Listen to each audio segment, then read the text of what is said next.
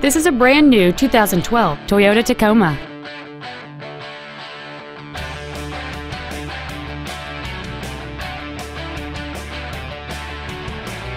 All of the following features are included air conditioning, full power accessories, an engine immobilizer theft deterrent system, a traction control system, side curtain airbags, rear seat child-proof door locks, and satellite radio.